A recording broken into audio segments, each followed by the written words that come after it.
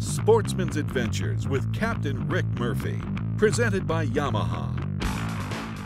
Look at that one underneath. I know. He wants that pilchard that's dangling. I- let it go. Let it go down. He'll come grab it. What makes this play? Oh, Oh, yeah, he ate it. I got two on at one time. Put a hook in the second one.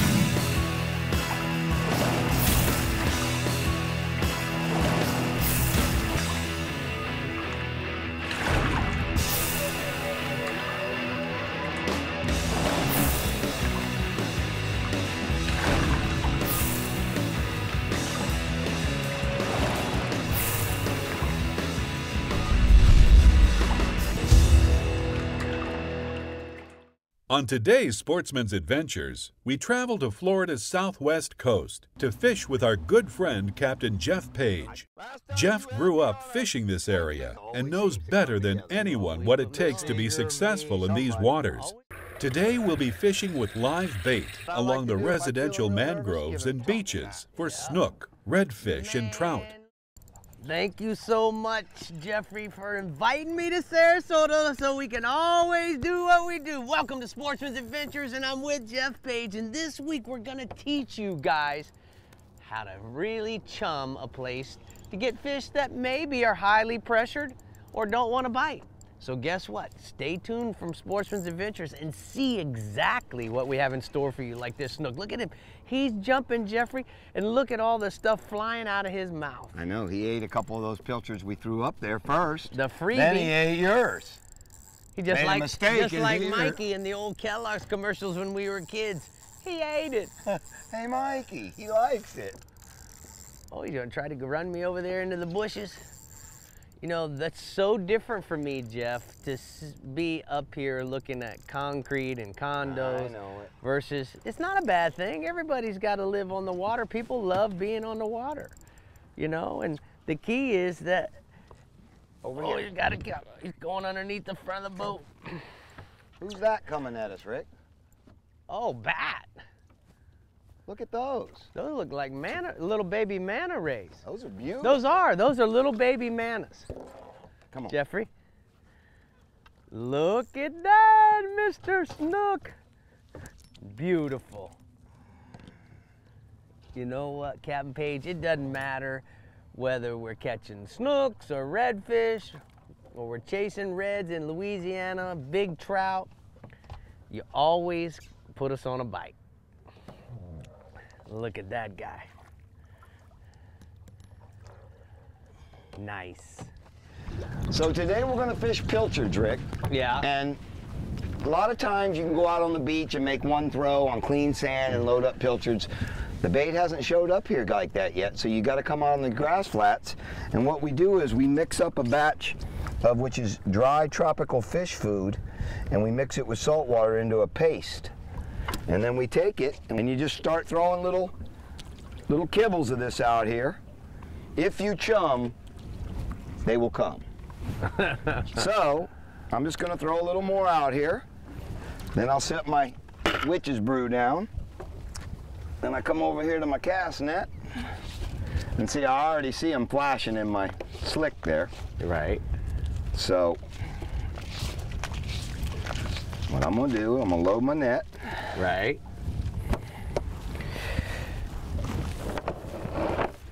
The one thing about grass flat cast netting is it's messy.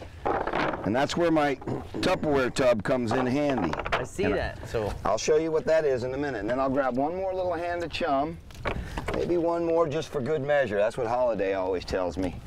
When you think you got enough bait, he says always throw one more time for good measure. Mike Holliday from the East Coast, that guy knows about fishing with a freaking pilchard. Yeah, he does. And then I'm just gonna take this net, I'm Nice put her out there. Oh, And as you oh, look see- at them all flashing in there. flicker flash. We're gonna come up over the side and then this is just a little tip that some of the crackers taught me. To, to avoid getting grass all over your boat, you take your net, Right, put your leads in there, right, stretch it out, right. I'll let you go dump the bait. Okay. Your man's back there waiting on you too, your friend. You always told me that man in the white suit is your friend, but you gotta watch him. Because he'll pick your pocket out on this game. All right, so you see what I did? Yeah, I got And then it. a little tip to keep your live well clean when you see clump of grass, pick it out so you're dumping in pure pilchard. Got it. And that's how easy it is, folks. Sportsman's Adventures is brought to you by Yamaha. Reliability starts here. FWC, the Florida Fish and Wildlife Conservation Commission. Williamson Lures for the Pelagic Playground. Maverick Boat Company, makers of premium boat brands Maverick, Hewes, and Pathfinder. Humminbird, simply, clearly, better. The Florida Keys and Key West, come as you are. Costa Sunglasses, see what's out there. And Rapala, catch the latest at rapala.com. Introducing Helmmaster, Yamaha's first fully integrated digital boat control system. With Helmmaster, you can start your outboards with a swipe of a paw and control them with a single lever. Outboard trim and steering friction adjust automatically as you accelerate and decelerate. Adjust engine speed with the touch of a button. The Helmmaster joystick provides the means to navigate and dock precisely with confidence and ease. Take control of your next vessel with Helmmaster at your command. Remember the glory days of gasoline? It's just not made the same anymore. Kick your gas into gear with StarTron. Pump up the performance in all of your engines. Cure the problems of ethanol with the power of enzymes. And maximize your mileage every time you drive. Kickstart your engines with StarTron. He's fished here for decades. He knows every hump, every drop off, every contour. He's dedicated his entire life to understanding this single body of water, and he didn't know squat about it until two hours ago. AutoChart Live lets you build your own high definition maps anywhere in the world in real time. Only with ONIX. Only from Humminbird.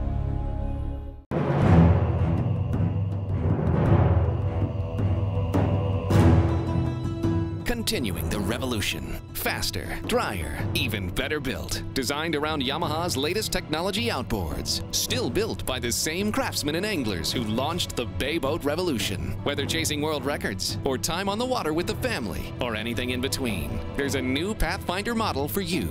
Pathfinder, number one for a reason, still. It's been said that a bad day of fishing is better than a good day at the office. But down here in the Florida Keys, we have to disagree.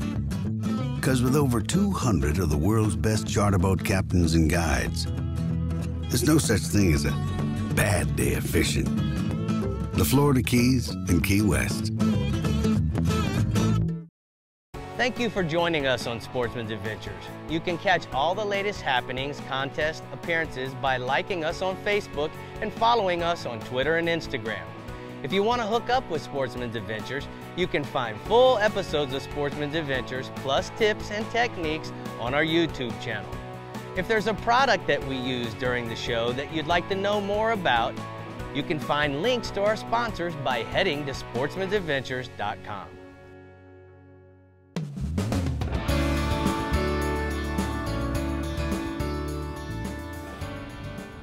Guys, if you're ever over on the West Coast, one of the coolest places that you need to definitely check out is the old bridge that connected Sarasota and Bradenton to St. Pete and Tampa.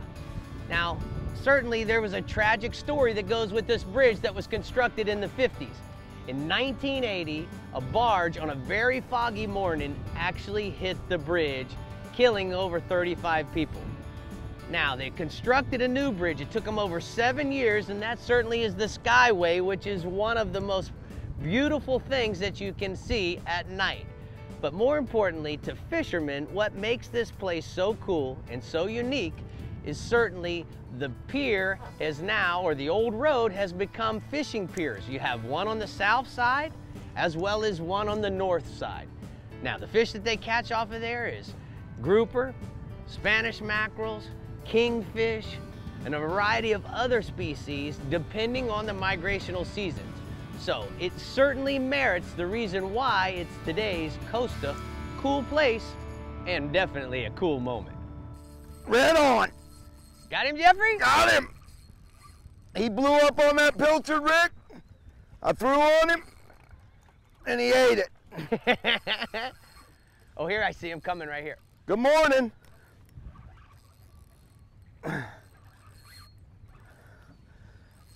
well, it's been a Oh, while. Captain Rick. Good job, Jeffrey. Last time you had me on a Sportsman's Adventures, it was you and Chris Seeger making fun of me out there in a place I'm not used to. What do you mean? We was out there 30, 40 miles out in some godforsaken Gulf of Mexico. Well, that's There's where you redfish live. all over out there. You live in the Gulf of Mexico. I don't. I live in the bay. Remember? Take your time. I Take got your him. time.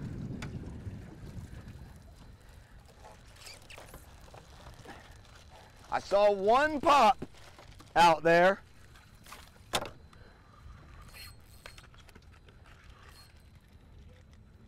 Easy, easy. Looks like a nice big red, Buff. It is. There's a couple hundred laying out here. I was just getting ready to change my hook. I thought you wanted a 5.0 and then you told me you wanted a 1.0, so I'm switching over to my little 1.0 VMCJ hook. That fish is going to town. Oh yeah. So Jeffrey, let me ask you a question. Go ahead. What's the secret to fishing live bait in a place that, you know, by most part around here, these parts, this time of year when you have pilchards, what's the secret to it? To make sure that you don't overfeed them, or do you, you know, I see guys slinging, I mean, just Hey, can. I get a little help here? right? Are you ready? Yeah. I got you. Okay. Hold on one second. The secret is pretty much the same as when we fish lures, is having the boat set up properly. And today we've got a pretty good southeast wind. And you saw I eased up here. I didn't even see the fish. And I just, I started putting bait out, looking for one to blow up, because there's snook up here too. Nice. He blew up for sure. That's a 26 and three quarter if I ever saw one. Come on. you want to check That's a five pounder. Oh, please. Come on. We're gonna get that that VMC hook out of his face there, Buff. Yep. So once again, That's a great way to start. could you grip him for me there with some of those paws of yours? I got him. I got him. I'm Here, uh, you know what? Give me. You get your pliers. Give me the fish. You get the pliers. The circle hook went right in the corner of his mouth. It's like it's supposed to. Yeah. There we go. Boy, that sure is pretty. Look at all that. Nice. Good job, Jeffrey. Good job. There you go. Nice. Nice Jeffrey, work. it is so nice to fish with a guy who knows the fish like they're on first name basis. That's it. That's awesome. That might be another species. We've caught a red. We've caught a snook. I think you got a trout. Wow. Yeah, nice, Nice trout. trout. Nice trout. Wow. Cool, man. There's a Johnny. I heard on one of your shows you said, I call him John John in honor of Captain Page. I said that. I heard that. Diane's daddy told me that. He was laughing. Cool. Now look at the yellow. See, that's one of the things I love about these fish, Jeffrey.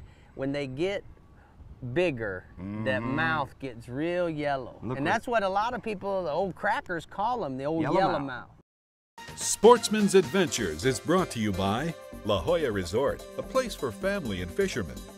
Power Pole, swift, silent, secure. Custom trailer manufacturer Ameritrail. Contender Boats, performance through innovation. Sufix Lines, the world's most hardcore fishing line. VMC, your expert in hooks. StarTron cures and prevents ethanol fuel problems. And there's no stopping Okuma. You know there's more to it than luck. There's fishing the right bait, the water temperature, the wind, the season, and then there's the boat.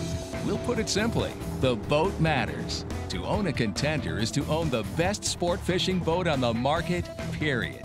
Contender offers the most comprehensive model range with bigger, faster, and more fuel efficient boats than the competition. There's only one choice for serious anglers Contender Boats. Performance through innovation.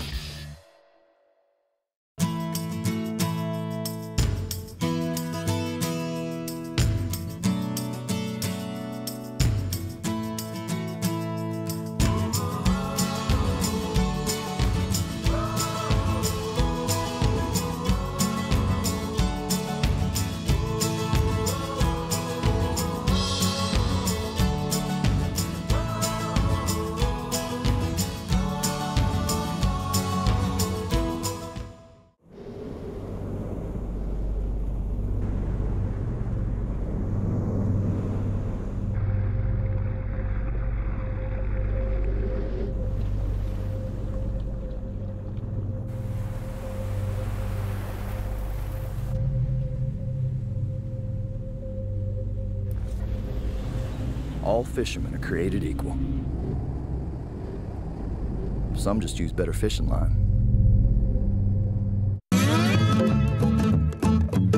It's been said that a bad day of fishing is better than a good day at the office. But down here in the Florida Keys, we have to disagree. Because with over 200 of the world's best charter boat captains and guides, there's no such thing as a bad day of fishing. The Florida Keys and Key West.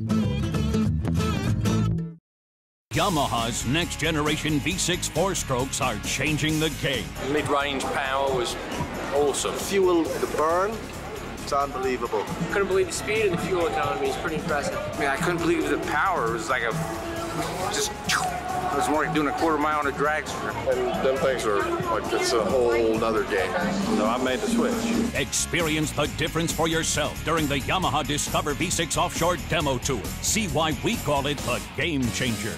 We're a one-stop shop for whatever you might need in Sarasota. We're real service oriented. When you walk in the door, hopefully we have someone right there to greet and meet you and help you. We have live shrimp, we have frozen baits, we have lures, we have tackle for your needs, sunglasses. We one-stop shop. We also have kayaks, paddle boards, bicycles, mm -hmm. um, jet skis, there's parasail offered. Boats? Boat, boat rentals, big boat rentals. Important to us as our customers and what we can tell them and teach them and help them have a good time while they're here. And they can go fishing from the beach, they can go fishing from a boat, they can hire a guide. However we can help them, we'll do our best. Ah, you got them in the in the sweet spot. got him. Man must be living right, getting all these bites. Ooh. It's a oh, yellowmouth. One come eight mine. You got another big trout. Big trout, Johnny John. Oh, there's another one. Pete, another one trying to eat the pilchard on I the line. I know. It. I know it. That's all right. We'll catch him. Wow. You know what, Jeffrey? Huh. The thing that makes this part of Florida so special. Look at that one underneath. I know. He wants that pilchard that's dangling. I let see. it go, let it go down. He'll come grab it. What makes this place? oh yeah, I got two on at one time. Put a hook in the second one. My oh, friend, hey, my friend Jeremy and I have been doing charters here, and that happens almost every time. Wow. Oh, he didn't get it though. There it is still. What so go ahead. What makes it so special? Tampa Bay, Port Charlotte, Boca Grande, you know, certainly Punta Gorda. What makes it so special is the variety of fish and the seasonal migrations that you guys have. But your mainstay of fish is the three inshore. Yep. Trout, redfish, and snook. You guys have them 24 hours a day, seven days a week. Yep. So Jeffrey, typically, let's talk about the rig here that we're using. Well, if you know you're in snook, bigger snook, I suggest going with 30. Right. And even bumping up to 40. But being with the trout and redfish mixed in, 25 Sufix will suffice. You just got to retie like we are right now. So we got this little VMC 1-0. 1-0 hook. I put them in the box with my 5-0 circle hooks in case we go tarpon fishing right. or we got to go up on some bigger leader or bigger size rods. Certainly small hooks, as you know, can catch a lot of big fish. The only thing you got to worry about is as you go up in the size of the braid, then you got a potential of straightening hooks out because of the light wire. Why I like the 1-0 is because those pilchards can swim so freely right. with a light wire hook. You Right. start getting heavy gauge wire and big shanked hooks that it hinders that swim on that pilchard, fish won't eat it. So we got about a foot and a half to two feet of Sufix InvisiLine 25 Yep. tied to our 832. And this is four 10 pound, 10 four pound. pound diameter, 10 White. pound test, white. And look, we've even got the new Sufix braid scissors. The Sufix, oh, that's what makes it sweet. Uh-huh. Little snip snip. Yep. All right, we need two pilchards. Coming up. One for me and one for you to chum. Okay. it's, it's funny, but I'm not getting the fish as much on these live bait shows. I think I'm more Bawana boy. You're spoiling me, which you always do, I Captain Page. love, I love throwing these pilchards sometimes. All right. You got that one, Poppy. Yep. Trout. Big. Now it might be a snook. Big snook. Yeah, nice. You had to spoon feed him, didn't you? Yeah. That's what It was these- on- hey, on these slow tide days, that's what you got to do. You watched him eat it, didn't you? So let's talk about the tide Page. All What, right.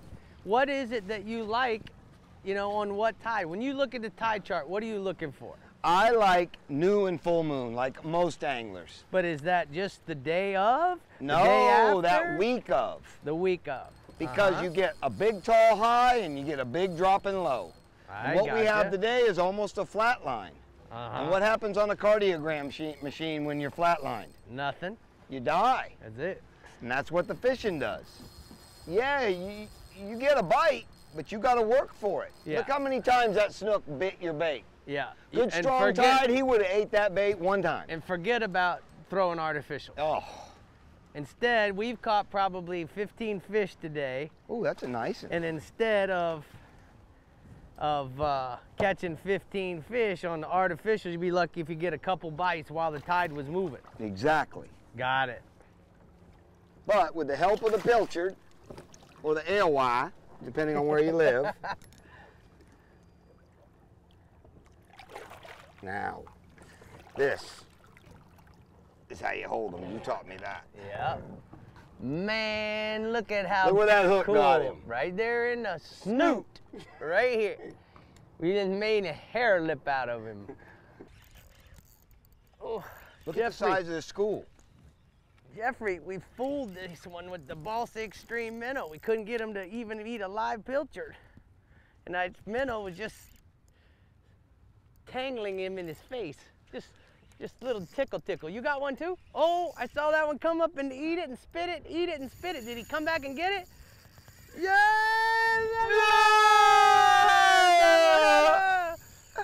Sing to me, baby. Look at this redfish school. Dang. Crimson. cool. Good job. Double header on big ones. Nice. These are big fish too, Jeffrey. I know they're all sizes. Look at this, Rick.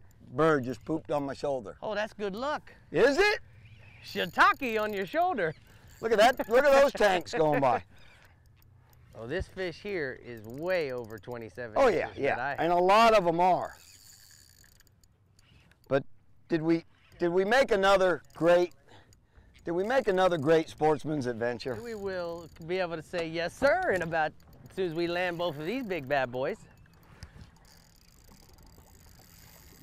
Oh, nice. Look at this fish, Page. Oh.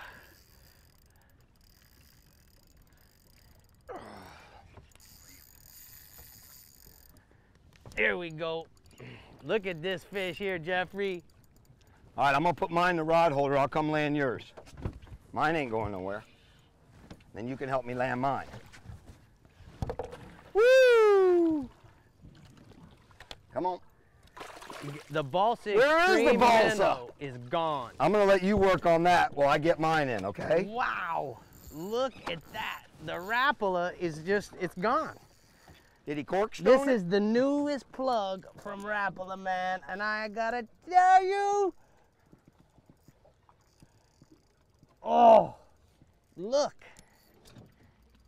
Where did it go? The good I Lord think only knows. that looks like something he wanted to eat. Nice fish, Page. Man, Jeffrey, this is how you celebrate 20 years of Sportsman's Adventures right here, bud. Double header, and this is what makes them great trips. When you can end the day like this with two monster redfish, doesn't get any better, bub. That's what I'm talking about. Sarasota Bay and Sportsman's Adventures always seems to come together. The St. Pete Tampa area certainly has some great fishing, and Geoff always seems to find the fish. When working the shoreline with live bait, you never know what you're going to catch. But one thing is for sure whenever Geoff and Rick get together, it always makes for a fun day on the water and another great sportsman's adventures.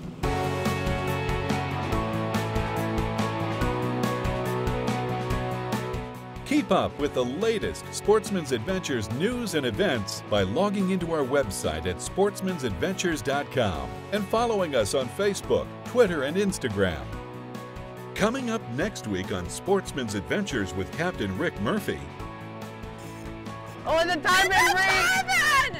You got him on, Bree! What time is it? It's tarpon time, Bree! That's what you came here for.